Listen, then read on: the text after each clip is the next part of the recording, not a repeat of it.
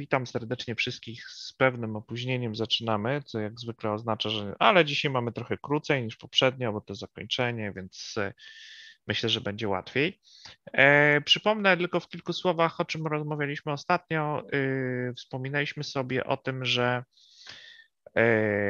w ogóle żyjemy w bardzo ciekawych czasach, ponieważ nagle pewne rzeczy, czy jeżeli spełnią się obietnice przedsiębiorców kosmicznych, zwłaszcza Elona Muska, ale zapewne też e, Jeffa Bezosa, to wygląda na to, że następne dziesięciolecie będzie wyglądało niezwykle fascynująco, ponieważ e, mniej więcej być może wchodzimy troszkę w podobną epokę, jaka miała miejsce pod koniec lat 60. Wtedy obiecywaliśmy sobie bardzo dużo po eksploracji kosmosu, ponieważ e, ówczesne osiągnięcia technologiczne pokazały nam, że mamy takie możliwości, czyli że możemy dzięki wcześniej istniejącemu technologii robić bardzo dużo rzeczy, czyli wynosić dużo rzeczy na orbitę i też przeprowadzać bardzo daleko idące badania, wysyłać e, sondy, poznawać nowe planety w niezwykle krótkim czasie, bo to raptem wszystko, pamiętajmy, nastąpiło w ciągu 10 lat. Mm, teraz też mamy do czynienia z, podobnym, e, z podobnymi nadziejami rozgrzanymi do czerwoności. E, które wynikają z faktu, że tak jak mówiłem, poprzedni okres był nacechowany tym, że mieliśmy do czynienia z postępem technologicznym, ale ze względu na ograniczenia organizacyjne, technologiczne, znaczy organizacyjne i takie mm, administracyjne, powodowało to, że te technologie nie, nie znajdowały wyrazu w, w naszych możliwościach. Czyli technologie były już od wielu, wielu lat, ale niewiele to zmieniało tak naprawdę w eksploracji kosmosu. To zresztą widać po bardzo wielu elementach. Zapewne Państwo słyszeliście, czy zapewne słyszeliście e, o przygodach Boeinga, który stworzył, miał stworzyć taką kapsułę CST-100, e, czyli tak zwanego Starlinera, który miał e, być alternatywą, czy też konkurencją dla kapsuły Crew Dragon, czyli załogowej, załogowej kapsuły SpaceX. Niestety, i mimo że Boeing jest niezwykle doświadczoną firmą, ponieważ no, to jest ta firma, która tworzyła część rozwiązań dla projektu Apollo, e, tworzyła między innymi statki Apollo, czyli ma olbrzymie doświadczenie, istnieje w branży już od kilkudziesięciu lat, ma olbrzymie doświadczenie też w branży lotniczej to mimo to doszło do tragicznego, znaczy dramatycznego blamażu firmy, bo najpierw kapsuła, którą wysłali dwa, chyba czy trzy, dwa lata temu, e, nie osiągnęła orbity i nie weszła na, nie zdołała się połączyć z, ze stacją kosmiczną w wyniku błędu software'owego, a teraz przygotowana już praktycznie stojąca na wyrzutni rakieta została wycofana z powrotem do, z powrotem do i rozmontowana tak naprawdę, czyli zdjęta została kapsuła z, z rakiety, ponieważ okazało się, że za, zamarzły, a tak naprawdę za, zablokowały się zawory, e, które mm, de facto okazało się, że nie uniemożliwiłyby tak naprawdę funkcjonowanie tej kapsuły na orbicie. No tego typu blamaż w przypadku tak doświadczonej firmy jest zupełnie czymś trudnym do wyobrażenia, ale jest poniekąd konsekwencją pewnych organizacyjnych i administracyjnych problemów, które ma firma, ponieważ e, to zresztą było widoczne w innych obszarach działalności Boeinga, e, między innymi na przykład w Boeingu 737 MAX, które sama ekipa inżynierów opisała w mailach wewnętrznych, że jesteśmy kierowani przez szympansy, którzy nie mają kompletnie pojęcia o tym, co robią, prawda? Jest to działalność kompletnie chaotyczna i przypadkowa. I być może prawdziwy szympans lepiej by ogarnął ten bałagan, jaki panuje przy projektowaniu tego nowego samolotu. Niestety można podejrzewać, że dość podobne rzeczy działy się równocześnie e, też w tym segmencie kosmicznym. Do tego dochodzą po prostu bardzo wysokie koszty działalności, które kompletnie nie mają żadnego uzasadnienia w, e, w faktach. E, prezes Shotwell, szefowa SpaceXa, która jest prezesem tej spółki, opisywała, to Państwu mówiłem, że kiedy przechodziła przez halę tych konkurentów, czyli tak naprawdę ULA, czyli Universal Launch Alliance, e, zaproszona przez nich po to, żeby ją trochę zastraszyć, to tak naprawdę chodziła przez puste hale, w których tylko gdzie niegdzie pojawił się ktoś, kto sprzątał i przy jednej, chyba jednym miejscu może raz się pojawił jakiś inżynier, który cokolwiek robił. E, więc tak naprawdę tempo prac, efektywność tych prac, jest w, w takim klasycznym sektorze kosmicznym jest żałosna, e, nie mówiąc już o niesamowicie rozdętych kosztach, których praktycznie nikt nie jest w stanie pohamować. I konsekwencja tego jest po prostu olbrzymi marazm e, w obszarze technologii kosmicznych.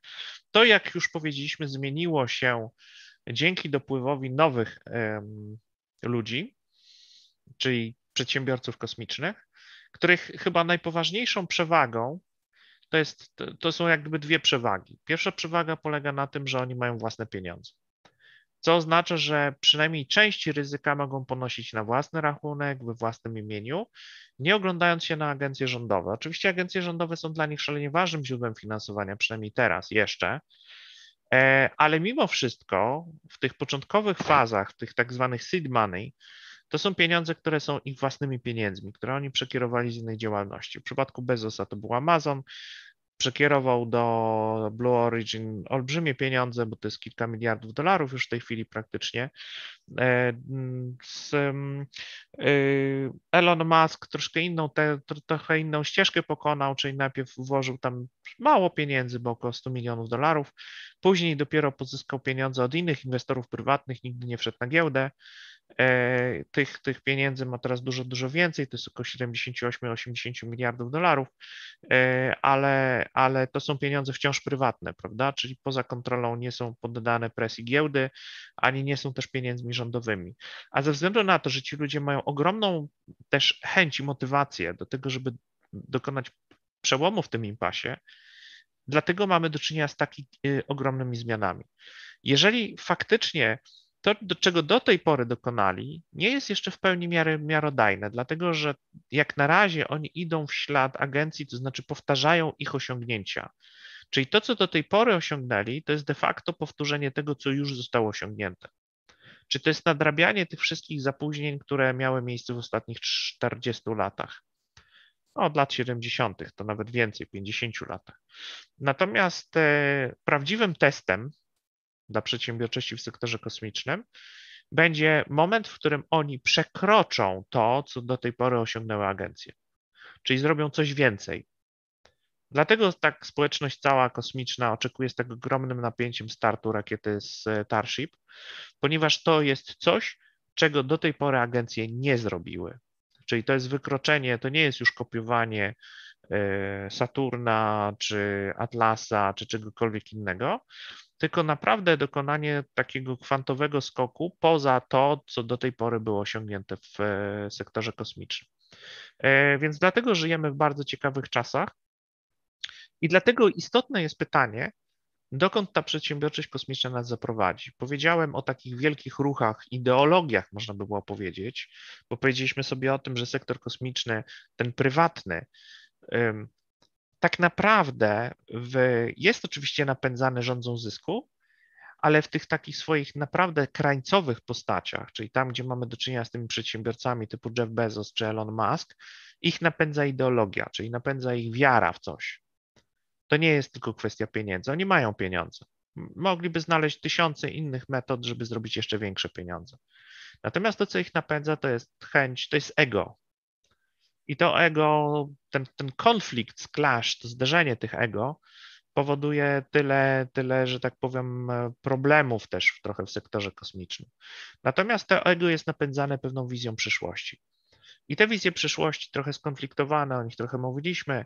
Jedna wizja mówi, OK, ludzkość to jest tak naprawdę, y, powinniśmy iść tam, gdzie są, są takie y, y, warunki działania, które przypominają te, w których zostaliśmy, w których się powstaliśmy, czyli powinniśmy działać jednak w warunkach jakiejś grawitacji, czyli grawitacja jest problemem, powinniśmy szukać dziury grawitacyjnej, w której moglibyśmy się osiedlić poza Ziemią.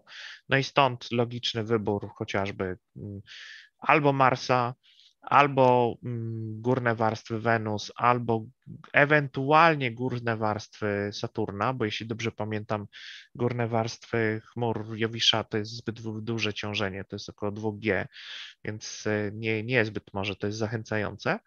Natomiast, e, natomiast e, to jest ta, ta wizja, że tak powiem, takiego rozwoju, że tak powiem, w pyle i brudzie. A druga wizja to jest właśnie czysta przestrzeń, prawda? Stwierdzenie, OK, przestrzeń nie jest czymś, czym powinniśmy się bać, to jest przestrzeń, w której możemy kwitnąć, czysto technologiczne środowisko, stwórzmy sobie własne środowisko, nie szukajmy środowiska, które istnieje w naturze, e, więc to jest ta, ta druga opcja, prawda, czyli albo daleki, tak zwany głęboki kosmos, deep space, albo planety, prawda? Środowiska planetarne w takiej czy innej postaci, czyli środowiska e, grawitacyjne, mniejszej czy większej grawitacji. E, I powiedzieliśmy sobie jeszcze też o tym, że pewne cechy są też ważne tych przedsiębiorców kosmicznych, małych i dużych, bo w ślad za tymi wielkimi tytanami oczywiście ciągnie się cała chmura mniejszych postaci. I to, co jest e, ważne tutaj w sektorze high-tech, powiedzieliśmy sobie, że przede wszystkim postawa czyli cierpliwość, wytrwałość, umiejętność komunikowania swojej wizji i zdolności przywódcze, ponieważ większość tych przedsiębiorców nie ma wystarczających dużych pieniędzy, żeby móc płacić stawki premium. Inżynierowie, którzy do nich się przyłączają, najczęściej są ludźmi, którzy nie pracują dla pieniędzy. Tak jest SpaceX. Zarobki tam są w, w relacji do całości sektora bardzo skromne. Ci ludzie pracują w naprawdę dość dramatycznych warunkach, bo to jest ogromne przeciążenie. Elon Musk nie jest człowiekiem specjalnie wyrozumiałym i miłym. Dużo konfliktów ale mimo wszystko ci ludzie się spalają, że tak powiem, czy pracują w takiej atmosferze, nie ma czystego tlenu, prawda? E, pracują na ogromnych obrotach, bo wierzą w to, co robią, prawda? Mają dowody swoich sukcesów, mają poczucie właśnie skuteczności w działaniu, jak mawiają psychologowie, i to ich szalenie napędza, prawda? To jest ta mm, e, motywacja osiągnięć. E, ale to trzeba ludziom sprzedać, prawda? Trzeba umiejętnie natchnąć ich tą motywacją osiągnięć. Trzeba też pokazać swoją, swoją właśnie umiejętności, tą cierpliwość, wytrwałość. Trzeba też się skutecznie komunikować, żeby oni też na, na, nasiąknęli tym duchem. E, druga sprawa polityka umiejętność wykorzystywania sprzyjających okoliczności politycznych zainteresowanie instytucji. E, środowisko sektora kosmicznego to jest ogromne bagno z, z mnóstwem powiązań wewnętrznych, prawda? E, jeśli się patrzy na mapę sektora, to widać po prostu tysiące różnych instytucji, które są wzajemnie ze sobą powiązane albo czasem ze sobą konkurują. Więc odnalezienie się w tej rzeczywistości, wykorzystanie tych korzystnych wiatrów, znalezienie finansowania wymaga bardzo dużej orientacji, często też dużego, dużych, dużej elastyczności, dużego sprytu, prawda? Więc, e, a to jest ważne po to, żeby zdobyć odpowiednie środki, nie marnować własnego kapitału, ale też zdobyć odpowiednie środki wtedy, kiedy, kiedy to jest możliwe, korzystać z finansowania zewnętrznego. No i takie finansowanie można znaleźć, tylko trzeba się orientować, prawda? Więc ta orientacja też jest ważna, żeby nie generować niepotrzebnych wrogów, tylko znajdować jak najwięcej przyjaciół. No i często z dużą rolę odgrywa szczęście, o tym też mówiliśmy. Zbiegi okoliczności. Robert Zubrin po prostu nie trafił w swój czas, mimo że miał, ma bardzo dobre umiejętności polityczne w wielu obszarach, to jednak moment, w którym wszedł na rynek i w którym próbował sprzedać swoją wizję e, ekspansji kosmicznej, nie był odpowiedni, prawda? Nie miał, nie miał dobrego, to nie był dobry moment. Spół, znaczy przedwcześnie, że tak powiem, może około 10 lat tak naprawdę, trochę przed czasem się pojawił. E, teraz okoliczności są dużo, dużo lepsze, ale jak gdyby już ta, już ten moment troszkę dla Zubrina minął. E, no i powiedzmy sobie w takim razie o trzeciej grupie przedsiębiorców, bo powiedzieliśmy sobie o przedsiębiorcach napędzanych wizją, albo wizją daleki kosmos, czytaj przestrzeń jako przestrzeń, prawda, albo wizją dziury grawitacyjnej. Powiedzieliśmy sobie o, o, właśnie osiedlach w otwartym kosmosie, dlaczego tam, powiedzieliśmy sobie o osiedlach na planetach, dlaczego tam. E, powiedzmy sobie teraz o tak zwanej mm, niskiej orbicie.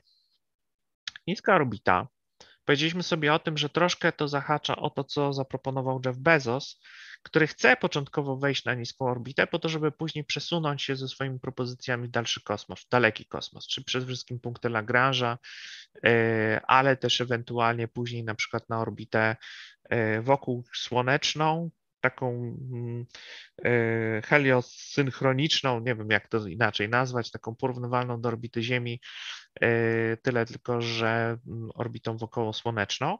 Ta orbita też ma swoje, swoje zalety. Mm, w każdym bądź razie ten daleki kosmos jest oczywiście czymś, co wymaga długiego przygotowania, więc Jeff Bezos myśli oczywiście w pierwszym rzędzie o wyjściu na niską orbitę okołoziemską, która ma wiele zalet ale są też tacy przedsiębiorcy, których mniej napędza, w odróżnieniu od y, Bezosa, mniej napędza ideologia, a bardziej napędza okazja, czyli kasa. Prawda? Są tacy przedsiębiorcy, którzy są takim szczeblem pośrednim. Są tacy, którzy kierują się czystą komerchą i to są te grupy, które na przykład inwestują w satelity, no wszystko to, co może bardzo krótkoterminowo przynieść pieniądze, internet satelitarny i tak dalej, i tak dalej. Jest grupa tych takich wizjonerów, którzy mają cele wysoko położone, dalekie, prawda? Trudne do skomercjalizowania, nieoczywiste, mm, dla których trudno znaleźć w tej chwili finansowanie, no bo zyski z tego, o ile się kiedykolwiek pojawią, to najwcześniej za 30-40 lat. No jest taka kategoria pośrednia, prawda? Ludzi, którzy mierzą trochę wyżej, nie w zyski, które są bezpośrednio dostępne, łatwe do takie nisko wiszące owoce, tylko takie trochę wyżej wiszące. I do nich należy między innymi właśnie Robert Bigelow. E, niestety to jest taki trochę fail, prawda? E, I Axiom. No i teraz co możemy o tych dwóch e, opcjach opowiedzieć? Za nimi najprawdopodobniej przyjdzie cała fala kolejnych, bo to jest też obszar takiego bardzo perspektywiczny, szybkiego rozwoju. Zresztą już Axiom, nawiasem mówiąc, jak Państwo wiecie, w przyszłym roku wysyła pierwszą, pierwsze misje. Jeszcze nie ma stacji kosmicznej, a już wysyła pierwsze misje. To są właśnie te misje e, Inspiration, prawda? Inspiration 1, 2, 3, 4. Ale to jeszcze o tym powiemy. Zacznijmy od Bigelowa. Czy ktoś słyszał o Bigelowie? Znana jest jego historia? Ja nie kojarzę. Roberta Bigelowa, bardzo znana postać zresztą. Poniekąd ci, którzy się interesują stacją kosmiczną, trochę powinni o nim słyszeć, o czymś, co się nazywało BEM. Bigelow Experimentation, chyba to się nazywa, Exploration Module. Jest przymocowany obecnie do stacji ISS. Taki nadmuchiwany. Taka kulka z boku stacji ISS. Ktoś widział? No i to kojarzę. No, jest, jest, jest. To właśnie Roberta Bigelowa, prawda? Stacja, znaczy moduł BEM. Ale to też o chwilę zanim powiemy. Zacznijmy od tego, kim jest Robert Bigelow, jak się znalazł na orbicie i dlaczego jest w takiej trudnej sytuacji obecnie. OK, to jest właśnie Robert Bigelow. Bardzo ciekawy case. Yy, możemy się być może spodziewać niedługo większej grupy tego typu dżentelmenów, chociaż jego historia zapewne będzie niektórych chłodziła w blokach startowych. E, Bigelow zaczął karierę już w latach 60. w branży nieruchomości. I tam zrobił prawdziwe pieniądze, prawda? Budował hotele i apartamenty.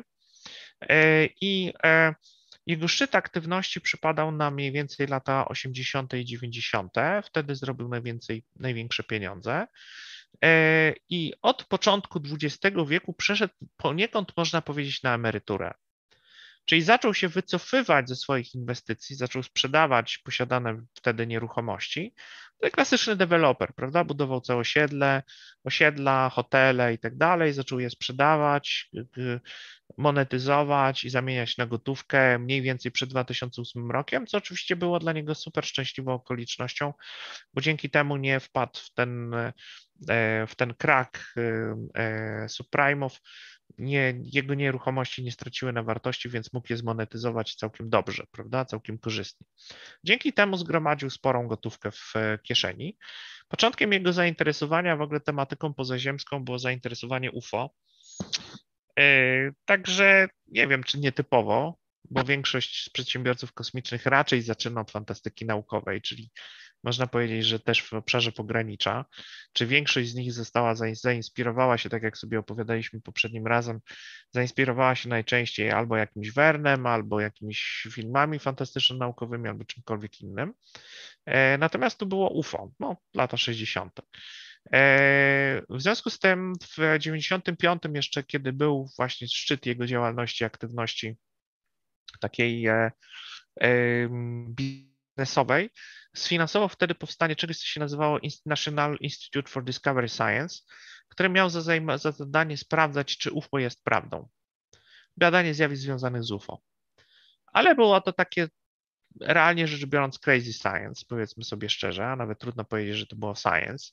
Bardziej był to z, z obszaru metafizyki, ponieważ między innymi naku, na, nabył e, coś, co się nazywało Skinwalker Ranch. To było taka, takie miejsce bardzo znane z różnych zjawisk, y, otoczone nimbem y, wyjątkowości przez przede wszystkim różnych takich zwolenników paranormalnych zdarzeń. Nie do końca było jasne, czy to duchy, czy to UFO. W każdym bądź razie tam było jakieś takie miejsce niezwykle ożywionej aktywności paranormalnej, w związku z tym e, Bigelow kupił to, to, to żeby poddać się skrupulatnym, czy raczej mało, tak średnio skrupulatnym badaniom. Nie było to konkluzywne, nie, w końcu nic nie wyszło z tego, nie było wiadomo, czy to UFO, czy to, czy to duchy, ani obecności duchów nie udało się potwierdzić, ani obecności UFO. Fakt jest faktem, że to jest dobry, dobry przykład tego, jak funkcjonuje mentalność, jak funkcjonowała mentalność Bigelowa, czy jego zainteresowania kosmosem biorą się z zainteresowania, z takiego głębokiego przekonania, że kosmici są już wśród nas, prawda? Czyli, że nasza ekspansja w kosmos jest niezbędna, ponieważ jest tylko tak naprawdę nadrabianiem tego, co już jest faktem, prawda? Kosmici już tutaj wśród nas grasują, więc im szybciej wejdziemy w kosmos, tym będziemy mieli większe, większy taki lewar negocjacyjny w stosunku do kosmitów. No, Okej, okay, prawda? W 1999 roku, kiedy te jego aktywności paranormalne okazały się być umiarkowanym sukcesem, założył, zwróćcie Państwo uwagę, że on był szybszy niż Bezos i e, Musk. Bezos założył swoją firmę w 2001, a Musk w 2003 roku. Czyli tak naprawdę to jest e, mm, no, jeszcze wcześniej, prawda? Założona została Bigelow Aerospace. E, postawił sobie bardzo ambitny cel, mianowicie zbudowanie stacji kosmicznej za około pół miliarda dolarów. Skąd się wzięło to przekonanie? I znowu powtarza się to, o czym mówiliśmy.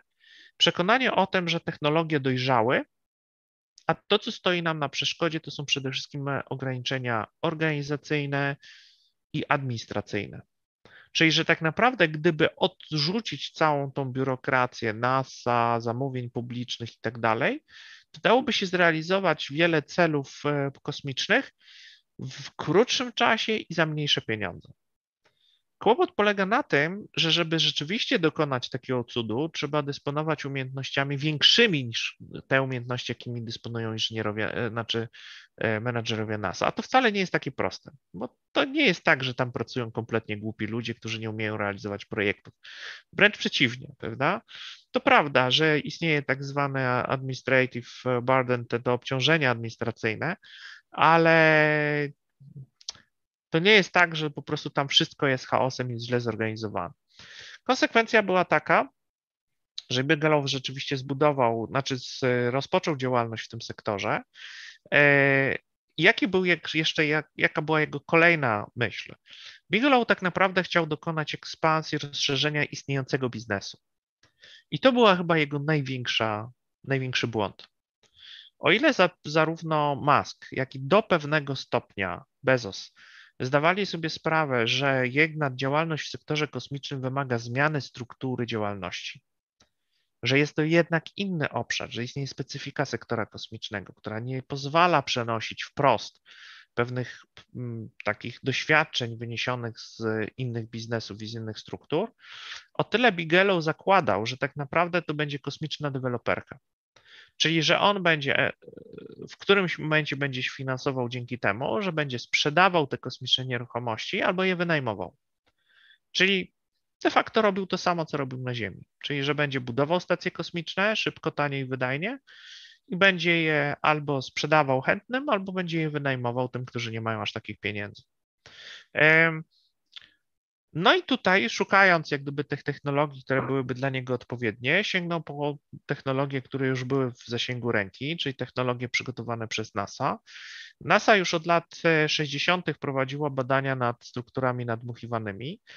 E, to są właśnie doświadczenia z lat 60., taki toroid y, nadmuchiwany, prototyp 24-stopowy y, model nadmuchiwanej stacji kosmicznej.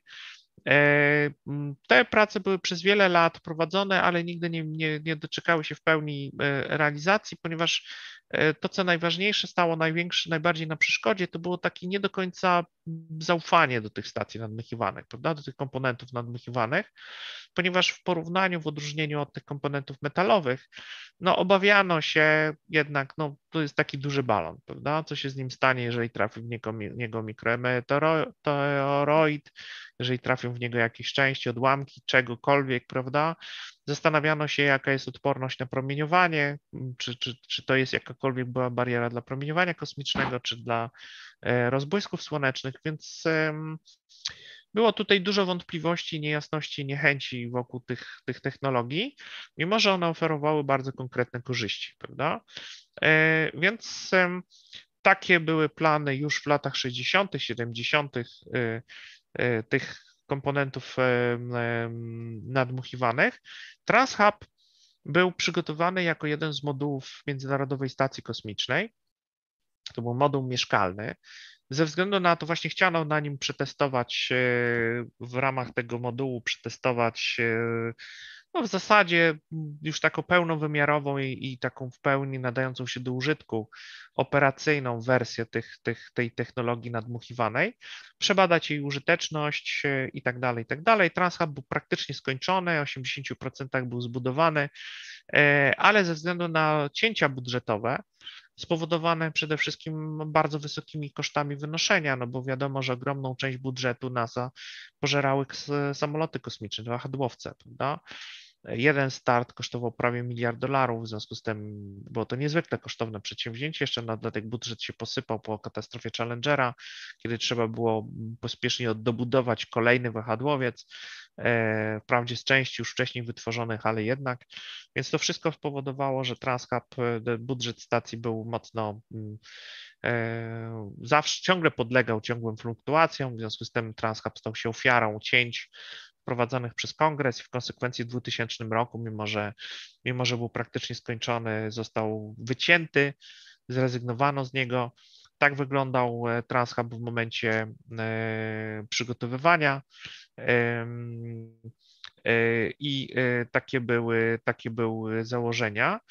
E, wtedy właśnie Bigelow podpisał umowę z NASA, która mm, pozwoliła NASA na udzielenie licencji dla e, Bigelowa na technologię powłok. Czyli te, cały ten kapitał intelektualny zgromadzony przez NASA w ciągu ostatnich, znaczy w ciągu 40 lat E, miał być przekazany na Bigelow, ale na zasadach licencji. Czyli Bigelow ponosi opłaty z tytułu wykorzystania tej technologii. Jest to jeden z pierwszych aktów komercjalizacji, czyli realne pieniądze, które NASA zarabia na technologii stricte kosmicznej, czyli nie takiej, która ma, znajduje komercjalizację na Ziemi, czyli technologii stricte kosmicznej, która została wykupiona przez prywatne przedsiębiorstwo też zajmujące się działalnością kosmiczną. Więc jest to y, ten Space Act, specjalny akt kongresu, zezwolenie na tego typu y, przeprowadzoną umowę, był aktem założycielskim de facto dla Bigelow, ponieważ Bigelow praktycznie zbudował całą swoją, y, całą swój, swój projekt, zbudował właśnie na tej licencji uzyskanej od nas. Ale z drugiej strony jest to pewna wada, ponieważ każdy inwestor, który chciałby wejść do Bigelow Aerospace, jego pierwsze pytanie będzie dotyczyło technologii. Czy jesteście właścicielami technologii, która jest kluczowa dla waszego rozwoju? Odpowiedź brzmi nie. Jesteśmy na łasce NASA.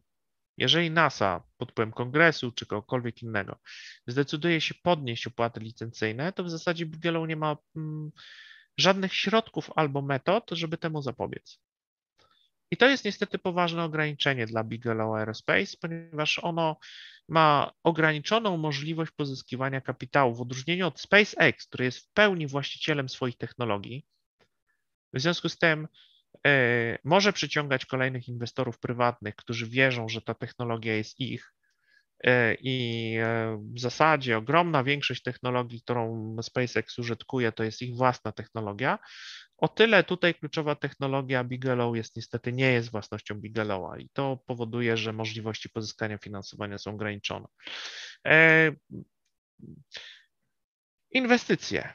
Najpierw 75 milionów, później 180 milionów. E, wszystko to są pieniądze prywatne Bigelowa, z jego własnej, prywatnej, osobistej kieszeni, które włożył na e, rozwój powłok do takiego momentu, w którym one stały się w pełni użyteczne i w pełni bezpieczne.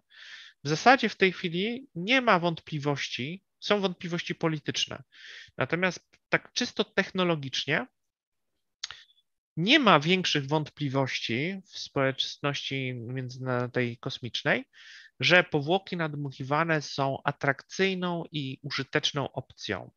Pod pewnymi względami one są nawet bezpieczniejsze niż tradycyjne moduły zbudowane z aluminium lotniczego.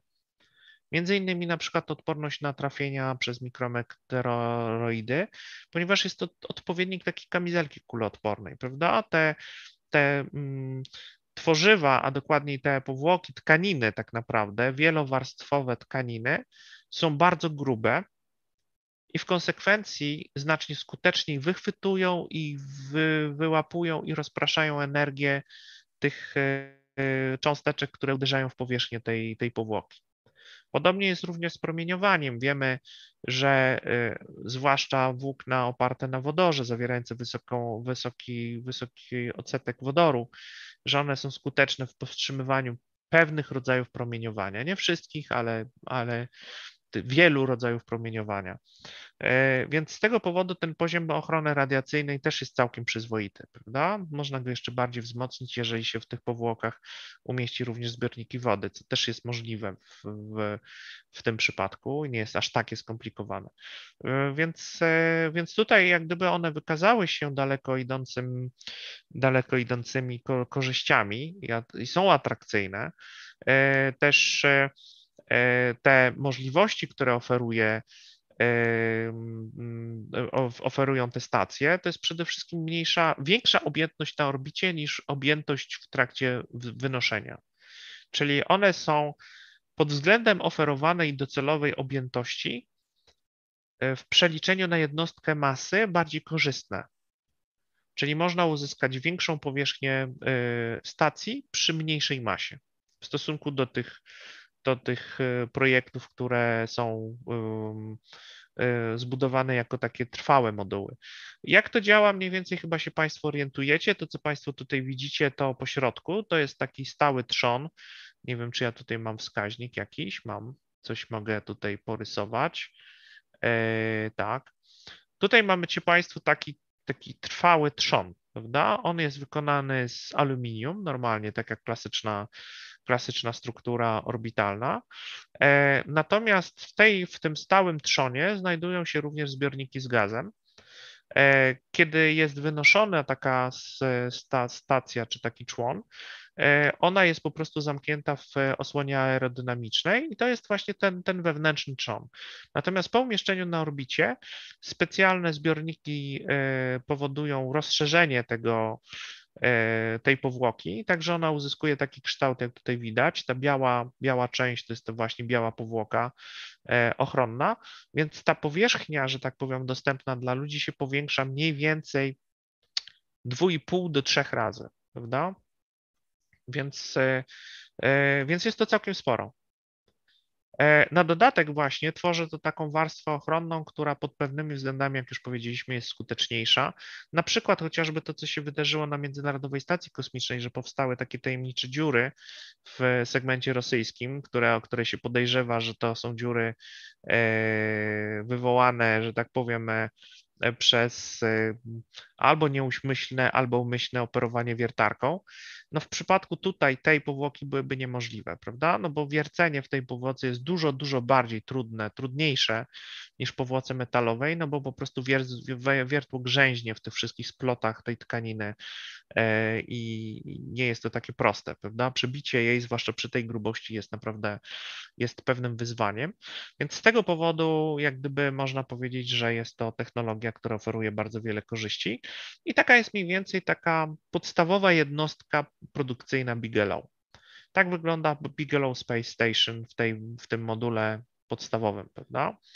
Ok, model stacji Bigelow BA330 w skali 1 do, 1, 1 do 3 został umieszczony na orbicie w 2006 roku. E, badano to zresztą, mm, widzicie Państwo, to nie pamiętam, tak, na, za pomocą ukraińskiej rakiety, przerobionej jak rakiety wojskowej, została wyniesiona stacja Genesis One, została wyniesiona na orbitę, tam została napełniona e, gazem, tam są, tam były, znajdowały się kamery, Ona chyba do tej pory lata, chyba można ją zobaczyć też. Nie wiem, czy kamery działają i czy można zobaczyć jej wnętrze, ale są filmiki na YouTubie, można zobaczyć, jak wyglądało wnętrze tej stacji po napełnieniu. Badano procedury napełnienia powłoki, szczelności, używano wtedy nowego materiału, wektranu. Ona nie miała pełnej grubości, stuprocentowo takiej, jaka, jaka miała mieć docelowo stacja BA330, ale był to model. Da? Przetestowano, że tak powiem, e, tą sensowność tej koncepcji. To, że można taką stację zbudować, wysłać, na, napełnić. Ona latała sporo, sporo lat, prawda? Mm, e, znajduje się chyba do dziś dnia na orbicie i, i nic się z nią nie dzieje złego. Da? Więc to, była, mm, to było ważne wydarzenie. E, Genesis 2 wystrzelona w 2007 roku. Kolejny demonstrator technologiczny, ta sama wielkość i kształt, ale mnóstwo poprawek i uzupełnień. E, pozostaje na orbicie do dziś dnia.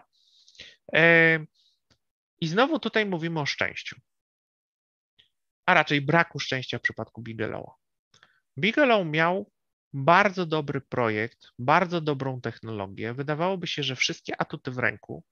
Nie miał jednego ważnego komponentu, mianowicie nie miał nawet miał do pewnego stopnia też elementy mm, ładun, znaczy systemy wynoszenia.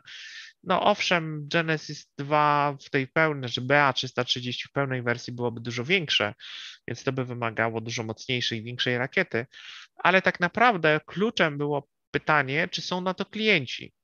No bo brakowało dwóch kluczowych elementów. Pierwszego elementu można sobie postawić nieruchomość, ale jak do niej dojechać?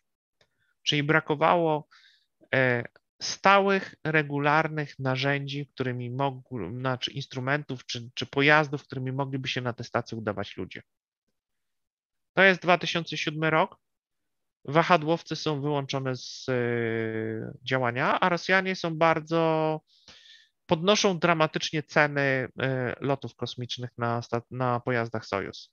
Prawda? One się podnoszą to tam do 70 czy 80 milionów dolarów za, za osobę co oznaczało, że z punktu widzenia ekonomicznego tak naprawdę pobyt na tej stacji Genesis musiałby być jakiś kosmicznie drogi, znaczy kosmicznie drogi. Więc było to, był to bardzo nieszczęśliwy moment. 2007 rok, dodajmy, to jest ten moment, kiedy po wielu latach opóźnień wy, wystrzelony zostaje prom chyba Atlantis, jeśli dobrze pamiętam, i podczas tego lotu do stacji kosmicznej on wprawdzie tam przylatuje, zostawia ładunek, ale okazuje się, że znowu odrywa się pianka od y, zbiorników, zbiornika głównego, czyli zbiornika IT, e, co oznacza, że tak naprawdę wahadłowiec musi z powrotem wrócić do hali i znowu odbyć ileś y, prób. Na 3 lata tak naprawdę zostaje uziemiony ponownie po to, żeby usunąć problemy z, ze startem i uczynić go bardziej bezpiecznym, co oznacza, że NASA kompletnie nie ma ani siły, ani czasu, ani ochoty zajmować się projektami e, komercyjnych stacji kosmicznych, bo tak naprawdę nie skończyła jeszcze budowy ISS i, i, też nie ma pomysłu na to, co dalej z obsługą ISS po uziemieniu floty wahadłowców. Czyli dopiero się tak naprawdę rozwija program, program COTS, czyli komercyjnych lotów na, mm, na stację kosmiczną, e, nie mówiąc już o lotach załogowych, prawda? Czyli Crew Dragon jest dopiero w gdzieś bardzo dalekich perspektywach Dragon towarowy wystartował w 2010 roku, Dragon e, załogowy wystartował w 2019 roku, więc to lata, 12 lat e, później. W konsekwencji Abigailowi zaczynają się kończyć pieniądze, prawda? Czyli z jednej strony nie ma szans na finansowanie ze strony kapitału prywatnego, który wprawdzie już okazuje zainteresowanie sektorem kosmicznym, ale nie bardzo pociąga go wizja inwestowania w technologię, do której praw Bigelow nie posiada. Z drugiej strony, jego największy potencjalny klient, który mógłby mu rzucić e, linę ratunkową, tak jak zrobił w przypadku sektora kosmicznego, w przypadku e, firm wynoszących, takich jak SpaceX, czy Blue Origin, czy e, Dream, czy mm, Cygnus, czyli mm, Orbital ATK, e, czy też e, Dream Chasera, to w tym przypadku akurat nie ma takiego projektu, programu NASA, który mógłby tutaj dać dofinansowanie. Nie ma tych pieniędzy, które mogłyby Bigelowowi dać oddech, więc w konsekwencji znalazł się troszkę na lodzie. Żeby jednak nie zmarnować tego potencjału i przekonać NASA, a przede wszystkim zaplecze polityczne NASA, które, jak Państwo wiecie, jak łatwo zgadnąć, było szalenie krytyczne. No bo pomyślcie tutaj Państwo o perspektywie politycznej. Mamy y, prywatnych producentów obecnych modułów, czyli firmy amerykańskie, Lockheeda i tym podobne, które są budują po prostu moduły, które do tej pory były przystosowane do wynoszenia przez e, wahadłowce. I w zasadzie większość tych kluczowych struktur ma być wyniesiona przez wahadłowce, więc one nie, kompletnie nie są zainteresowane. No, dla nich Bigelow jest konkurentem. E, mamy kongres, który stoi na straży interesów tych wielkich firm e, kosmicznych, który z jednej strony nie chce konkurencji, i ma co do tego dobre uzasadnienie, bo mówi, że ta technologia jest niebezpieczna, nieprzetestowana, mimo że ona już lata sobie w kosmosie i no, ale tak naprawdę no to, to, jest, to są prototypy, prawda, no to nie można, tutaj brak zaufania, to jednak jest kwestia ludzi, nie mamy pewności, że ta technologia się sprawdza, nie warto w nią inwestować, są różne inne wydatki i tym podobne rzeczy. Więc e, z tego powodu Bigelow nie jest w stanie pokonać tego, tego oporu, jaki tworzy polityczne zaplecze, a nie ma też takich umiejętności, jakie ma Zubrin, jakie ma Musk, jakie ma Bezos. W związku z tym nie jest w stanie przebić się przez tą, przez tą barierę polityczną. Wpada na pomysł zrobienia czegoś prostszego, mianowicie właśnie modułu BIM, prawda? E, czyli e, w 2010 roku, czy w trzy lata po realizacji misji e, Genesis, w, kiedy NASA wraca do pomysłu, kiedy już zaczyna regularnie, kończy budowę ISS, zaczyna zadawać sobie pytanie, w jaki sposób i jak będzie mogła rozbudowywać stację ISS bez wahadłowców. Nie ma do dyspozycji już luku wahadłowca, czyli 16 na 4,5 metra i mniej więcej od 16 do 20, no 20 to przesadziłem, od 16 do 18 ton e, ładowności. Te rakiety, które mogą coś wynieść na orbitę, mają troszkę mniejszy udźwig. No, w tej chwili już nie mają, nie jest tak źle, ale wtedy nie do końca, nie w pełni to było odpowiadało tym e, modułom, które wynosił wahadłowiec. W związku z tym coś mniejszego, prawda? I tutaj technologia oferowana przez Bigelowa okazywała się być atrakcyjna, bo oferowała duże pojemności przy mniejszej masie. W sam raz do umieszczenia czegoś takiego w Atlasie 5 albo w Delta, czyli w rakietach, które NASA mogła spokojnie kupować. E, no i stąd pomysł właśnie na wysłanie czegoś takiego. To jest moduł BIM po spakowaniu. Czy jak Państwo widzicie, bardzo kompaktowa struktura i bardzo zgrabna. Łatwo ją zapakować na nawet średniej wielkości rakietę. Dlatego tylko, że NASA, że tak powiem, to jest, to jest bardzo długi okres procedowania, prawda? W 2013 roku kontrakt na 18 miliard, milionów, milionów dolarów na dostarczenie tego nadmichowanego modułu eksperymentalnego, czyli bardzo małe pieniądze. Zwróćcie Państwo uwagę, ile Bigelow wydał do tej pory. 220, 250 milionów dolarów, a zarabia 18, co tak naprawdę z trudem pokrywa jego koszty. Czas na realizację dwa lata. Bigelow oczywiście jest gotowy znacznie szybciej. E, no i rzeczywiście ten moduł został wysłany na orbitę, tak wygląda jego wnętrze, prawda? Tak wyglądają poszczególne fazy nadmuchiwania tego modułu. W 2015 roku Falcon 9 wynosi, czyli 5 lat po de facto po podpisaniu, dwa lata po podpisaniu kontraktu, ale w 8 lat po wysłaniu stacji Genesis, która była dużo większa, nawiasem mówiąc, e, wyniesienie przez rakietę Falcon e, pierwotnie miał działać przez dwa lata, ale w 2019 roku przedstawiciele agencji oświadczyli, że moduł przewyższył wszelkie ich oczekiwania i że stał się tak istotnym elementem stacji, że astronauci zaprotestowali. Po dwóch latach miał zostać odłączony i wyrzucony y, w atmosferę, mniej więcej w 2017 roku, ale to na tyle by mocno zmniejszyło przestrzeń ładunkową stacji, że astronauci zdecydowanie się temu sprzeciwili. NASA przeprowadziła rewizję, że tak powiem, programu. Oświadczyła, że są bardzo zadowoleni z modułu, modułu BIM i żeby uniknąć ataków kongresu za to, że przetrzymywany, że zajmowany jest jeden ze złącz stacji kosmicznej, e, przeprowadzono certyfikację, taką długoterminową certyfikację użytkowania BIM. Przede wszystkim zbadano jego odporność właśnie promieniowanie, mm, utratę mm, powietrza przez ten moduł. Okazał się szalenie, być szalenie szczelny, znacznie szczelniejszy niż rosyjskie moduły, nawiasem mówiąc, i tak dalej, i tak dalej. W rezultacie przedłużono mu certyfikację do 2028 roku i BIM stał się takim stałym elementem wyposażenia stacji, co bardzo dobrze świadczy o technologiach nadmuchiwanych, i w zasadzie większość w tej chwili komercyjnych pomysłów na stacje kosmiczne, i na komponenty stacji kosmicznych uwzględniają w mniejszym czy większym zakresie y, technologie nadmuchiwane. E, no i tak wygląda to dzisiaj, prawda? E, ten moduł przyczepiony do Międzynarodowej Stacji Kosmicznej tak sobie działa. E, kosmiczne nieruchomości. Co się dalej wydarzyło z Bigelowem? W 2016 roku Bigelow podpisał e, umowę na, z ULA na wynoszenie modułów stacji przez e, rakietę Atlas V i odpowiednio dopasowane obie, oba te komponenty, zarówno moduły Bigelowa, jak i e, te osłony te aerodynamiczne Atlasów, tak żeby, że tak powiem, to się mieściło, że tak powiem, w atlasach. I, i ULA zagwarantowała, że w razie, jeśli będzie, będą te moduły wynoszone, to to Atlas, za ULA się podejmie tego wyniesienia. I to taka była propozycja, że jeżeli stacja kosmiczna będzie się rozszerzać, będzie rozbudowywana, to że będzie rozbudowywana, na przykład propozycja, że będzie rozbudowywana przez moduły BA330. Nawiasem mówiąc, pytanie, co to jest 330? BA, no to wiadomo, Bigelow Aerospace. 330 to jest pojemność wewnętrzna tych modułów, czyli 330 metrów sześciennych. Tyle oferuje taki moduł pojemności wewnętrznej e, stacji kosmicznej.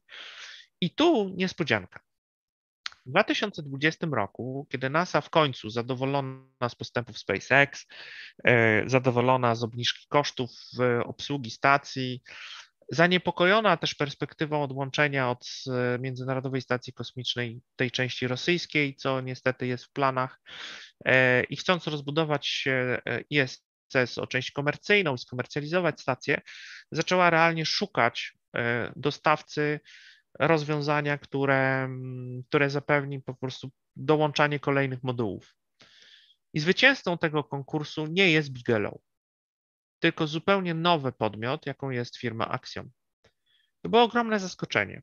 Jest zaskoczeniem do dziś dnia, ponieważ firma, która tak rozpaczliwie walczyła od 1999 roku, czyli ma na koncie ponad 20 lat istnienia, y, co najmniej trzy udane eksperymenty orbitalne, dwie wyniesione makiety stacji kosmicznych na orbitę, plus jeden realnie działający moduł, istniejący, działający w ramach ISS od, y, jeśli dobrze pamiętam, 2015, y, no to od 6 lat, ta firma nie wygrała. Pojawia się pytanie, dlaczego? I to jest związane niestety ze sposobem finansowania tej, e, tej firmy, to znaczy to, że ona się w całości opierała na prywatnych pieniądzach. Po prostu pieniądze się zaczęły kończyć. E, mm, jeszcze dodatkowo doszła epidemia, czyli doszła pandemia. Bigelow zaczął zwalniać ludzi. E, jemu też prawdopodobnie już trochę brakuje siły i energii do tego, żeby prowadzić cały ten biznes dalej. E, i w konsekwencji nie przystąpił tak naprawdę do tego konkursu.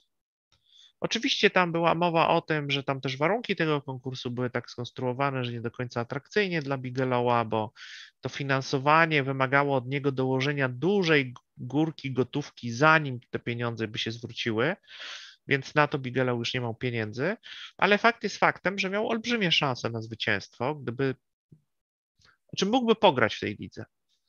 Natomiast tutaj niestety nie przystąpił do konkursu, w konsekwencji wygrała druga w kolejce firma Axiom. I to są właśnie te moduły, które proponuje Axiom. Mm, jako metoda, że tak powiem, rozbudowy Międzynarodowej Stacji Kosmicznej, prawda? Czyli to są, to są, to są ich e, propozycje. No i teraz pojawia się pytanie, kim jest Axiom i skąd się wziął, mm, bo to jest taki newcomer, czyli taka zupełnie nowa, nowa firma, która się pojawiła na orbicie. E, została założona przez inżyniera mm, nuklearnego, wybaczcie mi Państwo, nie jestem w stanie wymówić jego nazwiska, Gafariana. I osobę, która akurat była doskonale znana NASA. I to jest podobna metoda działania trochę jaką ma Jeff Bezos, bo Jeff Bezos e, też obstawiał ten kierunek działania, czyli wybrał sobie tak zwanych starszych, takich dużych chłopców, czyli wybrał sobie osoby, które doskonale znają sektor kosmiczny i są, były przez lata zaangażowane w, w pracę w różnych firmach sektora kosmicznego, tego tradycyjnego, doskonale operują w tym systemie agencyjnym. Elon Musk jest takim osobem, osobnikiem, który akurat działa zupełnie według innych metod. On nie zatrudnia ludzi z wielkich firm kosmicznych. A jeśli już zatrudnia, to nie zatrudnia nikogo, kto zrobił tam karierę. Zasadniczo zawsze różnych outsiderów zatrudnia, czyli osoby, które z tego sektora chcą wyjść, znaczy z tych firm, e, dużych firm kosmicznych chcą wyjść, prawda? E, więc, e, ale tu akurat jest to bardzo klasycznie zbudowana firma. Mike Sofredini, dyrektor programowy ISS w latach 2005-2015, czyli człowiek, który zna stację, Międzynarodową Stację Kosmiczną, no od podszewki, bo on jej po prostu szefował, czyli był dyrektorem Międzynarodowej Stacji Kosmicznej przez ostatnich, przez 10 lat, no nie przez ostatnich, ale przez 10 lat. Więc jest to mm, zupełnie e, inna bajka. E, Axiom nie korzysta z technologii nadmuchiwanych, chociaż w perspektywie o tym myśli, ale jest tutaj pewien problem, mianowicie kwestia patentów i, i licencji, czyli te licencje są w posiadaniu Bigelowa, w związku z tym Axiom nie jest tak do końca w pełni, nie ma w pełni możliwości, nie może po prostu w, w, w niektórych obszarach naruszać e, praw Bigelowa. W związku z tym musi uważać na to, jakiego rodzaju moduły nadmuchiwane wykorzystuje i jakiego rodzaju, z jakiego rodzaju technologii korzysta. Nie może po prostu w prosty sposób przenieść technologii NASA do siebie, prawda? Mimo, na, że na pewno miałby takie możliwości. E, czy jest to tak zwana technologia sztywna? To zresztą widać po, e, po konstrukcji tych modułów, prawda, że one są tych samych rozmiarów, tej samej mm, Y, tak samo wyglądają jak te moduły istniejące w Międzynarodowej Stacji Kosmicznej, są odrobinkę mniejsze, mają inny kształt, bo są przystosowane do wynoszenia przez klasyczne rakiety, a nie przez y, wahadłowce. Czyli nie mają po prostu takiego kształtu pełnego, proporcjonalnego walca, no bo to jak gdyby ładownia wahadłowców na, pozwalała na, takie, na taką, takie rozwiązanie, tylko mają tutaj takie zawężenie, które jest y, elementem osłony aerodynamicznej przyszłych y, rakiet, które będą wynosiły te, te moduły. E, w środku pełen luksus, prawda? Zwróćcie Państwo uwagę na to, że oni wykorzystują tutaj elementy, czy te doświadczenia, które zgromadził Bigelow. Czyli ta konstrukcja metalowa jest wzmacniana dodatkowo przez y, te powłoki z tworzyw sztucznych. To ma charakter nie tylko estetyczny i mm, jakby to powiedzieć, taki bezpieczeństwa, w sensie, żeby sobie nie rozbijać głowy, ale też jest elementem zabezpieczenia radiacyjnego i zabezpieczenia przeciwmeteorytowego, prawda? Czy jest to technologia uzupełniona, taka sztywna, ale uzupełniona elementami tej technologii, którą została opracowana przez e, Bigelowa. E, no i tak wyglądać ma ta e, ta stacja, że tak powiem, komercyjna, ale nie udostępniona NASA, tylko ta, która ma być w pełni komercyjna jako taka kosmiczna nieruchomość, prawda? Czyli ten hotel kosmiczny Axioma, który ma w przyszłości powstać na orbicie. Wszystko sugeruje tutaj luksus, lampy LEDowe, złoto, wielkie panoramiczne okna, do których NASA nie ma przekonania, bo one tworzą dodatkowe i to realne ryzyko w przypadku zderzenia z jakimś śmieciem kosmicznym i tak dalej, i tak dalej. Więc jak widać tutaj to e, e, jest e, duży, że tak powiem, dużo tutaj luksusowych rzeczy jest nałożonych.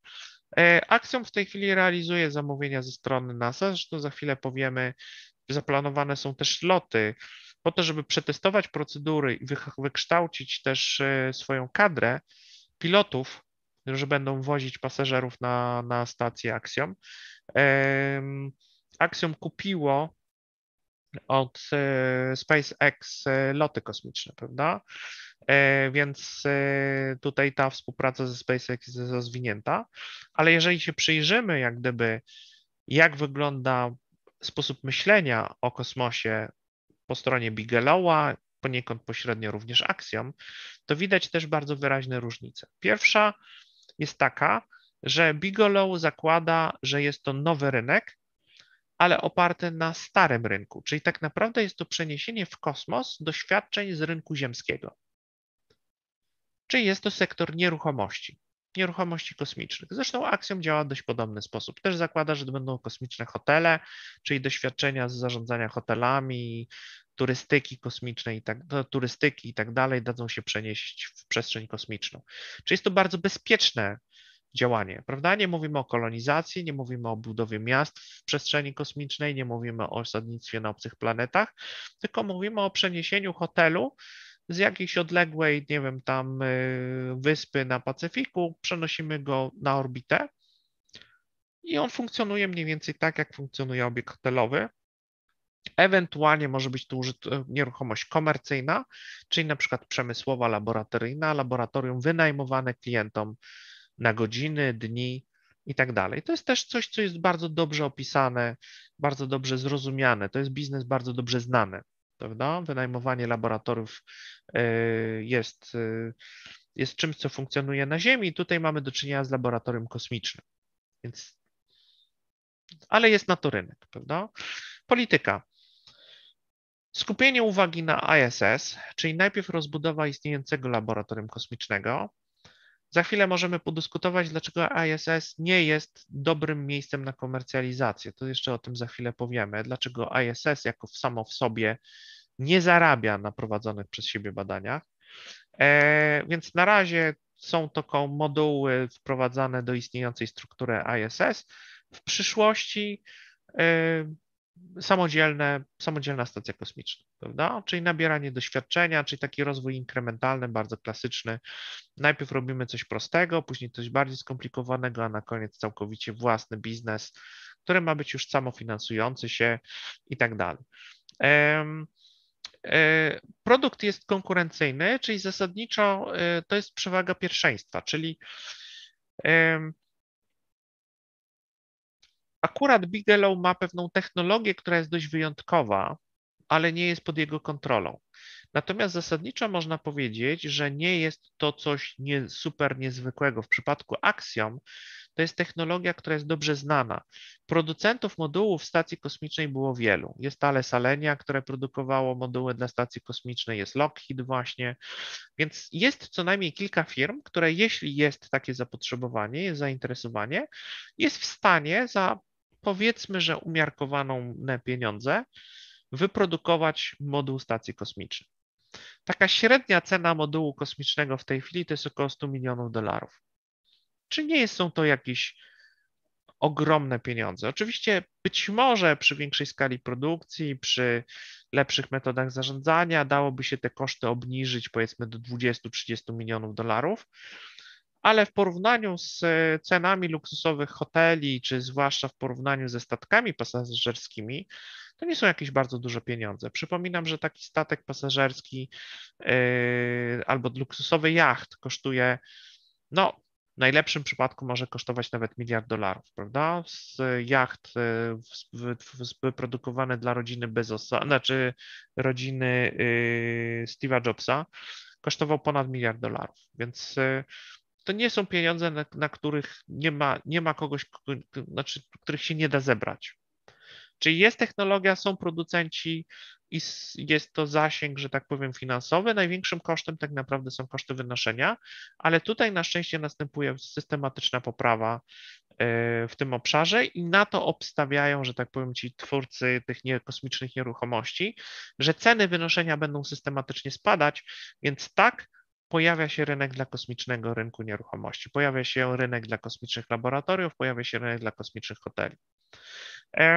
Na razie jest tylko jeden potencjalny nabywca, jakim jest NASA, ale założenie jest takie, że jeżeli uda się rozkręcić takim firmom jak SpaceX czy Virgin Galactic, czyli firmom, które zajmują się, znaczy raczej Bezosa, prawda? Czyli Bezos, y, firma mnie Bezosa i firmie Bransona, to że w najbliższym czasie uda się też, e, no, że ten problem do, dotarcia tych klientów na stację kosmiczną już też się zmniejszy, że koszty będą mniejsze, prawda? Że mniej więcej w cenie pół miliona dolarów będzie można polecić na stację kosmiczną. Pobyt na stacji kosmicznej powiedzmy kolejne pół miliona dolarów, czyli w cenie mniej więcej miliona dolarów, a to nie są wcale duże pieniądze jak dla milionera. Możesz mieć tydzień spędzony na stacji kosmicznej, tak naprawdę mowa jest o trochę większych pieniądzach, kilku milionach dolarów. Możesz sobie spędzić tydzień na luksusowej stacji kosmicznej, mieć doświadczenie życia i takich osób, których na to stać, jest co najmniej kilkadziesiąt tysięcy, jeśli nie więcej. Więc jest jakaś tam perspektywa takiego, takiego rynku kosmicznego i tu akurat są pewne y, też y, synergię pomiędzy tym, co robią firmy właśnie Blue Origin czy Virgin Galactic i tym, co robi Axiom lub Bigelow. One w sobie wzajemnie nie, w tej chwili nie są dla siebie wzajemnie konkurentami, raczej odwrotnie są sobie nawzajem potrzebne. E, SpaceX działało do tej pory na starym rynku, czyli na starym rynku rakiet, czyli tworzy coś, czego do tej pory, e, znaczy produkuje lepsze wersje istniejących produktów. W przypadku Bigelowa to w zasadzie poza ISS nie było do tej pory, no wcześniej salutami, ale prywatnych stacji kosmicznych nie w ogóle nie było. Więc nie ma w ogóle punktu odniesienia. E, czy jest to nowy produkt na starym rynku? Znaczy, tutaj posługuje się pewnym, pewnym takim modelem zarządzania, więc nie będę go rozwijał, ale, ale, ale to pokazuje, jakie są różnice w strategii.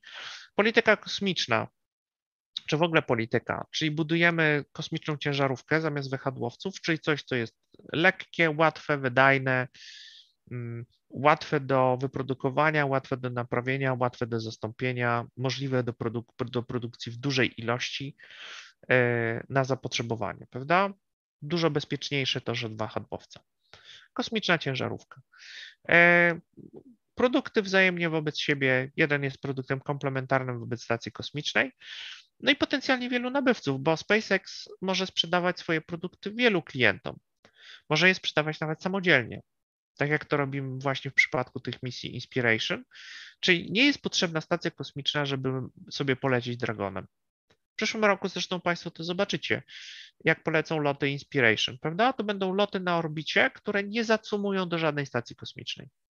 Cztery osoby będą się bujać w kosmosie po to, żeby uniknąć trochę krytyki, to jest nawiasem mówiąc dosyć zabawne, żeby uniknąć krytyki, mm, która się w tej chwili rozpętała pod hasłem bogacze latają sobie w kosmos i kto za to płaci, to oni sobie wymyślili, że zrobią różne eksperymenty na, na tej orbicie. Większość z nich tam będą pobierali krew i tak dalej, i tak dalej, żeby to miało przynajmniej jakiś minimalny pozór naukowości, że nie, lecą tylko po to, żeby pooglądać widoczki, prawda? Ale powiedzmy sobie szczerze, docelowo dokładnie o to chodzi. Więc formalnie rzecz biorąc, SpaceX jakby chciało, mogłoby odpalić turystykę kosmiczną yy, samodzielnie. Natomiast oczywiście dużo więcej pieniędzy da się wyciągnąć e, z akcji takiej, że lecisz w kosmos na dłużej i możesz do czegoś zacumować, prawda? I sobie tam pofruwać. Nie, no wiecie Państwo, ten spędzony czas na orbicie nie jest do końca super, jakby to powiedzieć, komfortowym doświadczeniem, zważywszy na to, że nie ma tam na miejscu ubikacji, ani nie ma możliwości wykąpania się, ani nic z tych rzeczy. W związku z tym jest to powiedzmy raczej turystyka ekstremalna, prawda? Jeżeli na orbicie jest za to obiekt kosmiczny w postaci stacji kosmicznej, no to to już wygląda trochę lepiej, prawda? E, więc tutaj można wyciągnąć z tego e, wyższą cenę. No i śmiertelnym grzechem Bigelowa było to, że nie miał żadnych innych źródeł utrzymania. Albo sprzedaż stację kosmiczną, albo jej nie sprzedaż. Nie ma elementów pośrednich. Czyli przez całe lata musiałby się finansować sam, bo nie miał żadnych innych źródeł przychodu. W przypadku SpaceX ono ma mnóstwo różnych innych źródeł przychodu. Wynoszenie satelitów na orbitę to jest jego główne źródło utrzymania. Starlink za chwilę, które będzie dla niego też bardzo ważnym źródłem finansowania. E, kontrakty NASA na ekspansję, na przykład na lądownik kosmiczny, lądownik księżycowy. Czyli SpaceX ma bardzo znacznie bardziej zdrową strukturę finansowania i z tego powodu ma też większe środki do dyspozycji ze strony klientów prywatnych. Stąd te 80 miliardów dolarów wyceny i kapitału, które zgromadziło SpaceX. Bigelow poza środkami swojego właściciela w zasadzie nie miał nic. Axiom w tej chwili próbuje to zrobić troszkę, w troszkę innej formule, prawda? No i podsumowując, e, mm, to wszystko, o czym powiedzieliśmy, czyli to jest taka trzecia generacja przedsiębiorców kosmicznych, ludzi, którzy nie kierują się jakimiś mm, takimi wielkimi wizjami, tak jak Elon Musk czy Jeff Bezos, czy do pewnego, do pewnego stopnia też koledzy z Dream Chaser, yy, no Orbitala TK to jest raczej taki bardziej klasyczny biznes, yy, tylko tacy przedsiębiorcy, ale też nie są ci przedsiębiorcy, którzy skupieni są wyłącznie na takich bardzo doraźnych korzyściach finansowych na zarabianiu biznesu na małych rzeczach, prawda? Czyli nie, nie są to wielcy ludzie od małych interesów, tylko jest to kategoria pośrednia. I takich przedsiębiorców zapewne w tej chwili jest ich bardzo mało. Na razie tak naprawdę są dwa przykłady, czyli Axiom i Bigelow. Ale jeżeli to, co w tej chwili obserwujemy, czyli ta eksplozja środków wynoszenia, jeżeli ona się utrzyma, jeżeli się rozwinie, jeżeli te obietnice spadku kosztów wynoszenia się roz, y, rozwiną czy zrealizują, to będziemy mieli do czynienia z całą masą nową generacją przedsiębiorców, którzy z jednej strony będą starali się zaludnić niską orbitę y, okołoziemską najprzeróżniejszymi instalacjami, od małych elektrowni słonecznych przez właśnie laboratoria na wynajem, y, jakieś tam kosmiczne hotele z takimi czy innymi atrakcjami i tak dalej, i tak dalej. E, plus też zapewne pojawi się taka grupa przedsiębiorców, która na przykład będzie zapełniała nisze opuszczone przez Elona Muska i Jeffa Bezosa, czyli na przykład y, budowa, masowa budowa sąd, na przykład eksploracja Księżyca, mapowanie Księżyca i badanie jego zasobów, no bo tak naprawdę Księżyc jest praktycznie niezbadany. E, niewiele wiadomo o tym, jak są rozmieszczone surowce mineralne, więc ten prospecting geologiczny też może stać się takim.